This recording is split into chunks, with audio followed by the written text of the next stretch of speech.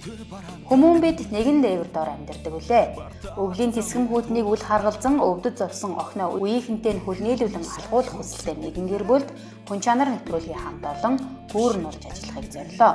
Монголжин охиныг хагалгаа хийлгээд төлд орох боломж 98% гэсэн сайхан мэдээг сонссон түүний ээж Баярмаа ийхүү балзарч эмчилгээний зардлаа олохоор хичээн ажиллаж байна. Миний охин Монголжин 6 настай. Аа сонгоо ярхан дүүргийн 12 дугаар сургуулийн нэгэн Д ангид сурдаг. Э, охиноо эмчилгээнд авч явах гээд одоо бал зарж байгаа. Тэгээд та бүгдийг бас нэгдэж бал аваарай гэж уриалж байна мó. Нэгдүгээр сувгийн хүн чанар нэвтрүүлгийн э, хамт олондоо бас маш их баярлж байна. Өнөөдөр ирж хүмүүнлэгийн үйл ажиллагаанд минь оролцож бүгдээрээ нэгдэж балын ман зарж өгж байна. Маш их баяртай байна. Ингээд та бүгдээ бас бүгдээрээ нийтээрээ нэгдээсэй гэж маш их хүсэж байна. Баярлалаа та бүхэндээ. Хүн чанар нэвтрүүлэгтээ хамтран ажилладаг хүмүүнлэгийн элчнэр Монголжоо охины хандив аянд оролцож сэтгэлийн хандив өргөхөөс гадна 2000 төгрөгийн үнэтэй энэхүү шидэд балыг борлуулан Монголжоо охины ээжэд туссан юм а.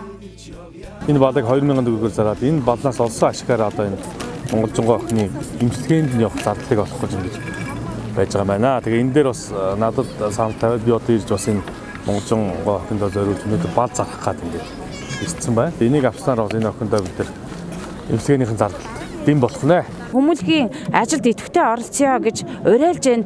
Охиндоо хурдан эдгээрээ мэдээж хүмүүсийн тус зэм дөндөө ирнэ чи мэдээж Монголын ирээдүй шүү гэж хэлмээр байна. Монголжоо охин туслаараа би өөрийнхөө зүгээс ингээ бал зарж ингээ тусалж залуучтайгаа уриалж шүү. Бидний үеийн залуучууд та бүхнийг уриалж байна. Энэ аав ээжд нь бас энэ охинд бас ингээ сэтгэлийн дэм болороо бидний аянд нэгдэрээ бяцхан сув цэцэрлэг гэдгээр нь бол андахгүй байх. Тэгээд тэр брэндийнхээ одоо бүтээгдэхүүнийг ингээд монголжиндоо өгөх гээд бид хоёр ирсэн байгаамаа. Өнөөдрийн хандив аянд оролцсон хүмүүлийн элчнэр болон 8 настай болчраас эхлээд 80 настай буурал хүртэлх хүн чанарын илэрхийлэл болсон хүмүүстэй шин сэтгэлийн талархал хүргэлээ.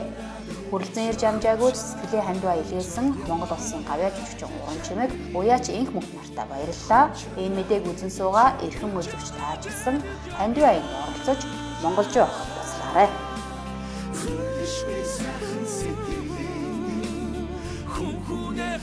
Chandri Hum chandra devi chavya Devi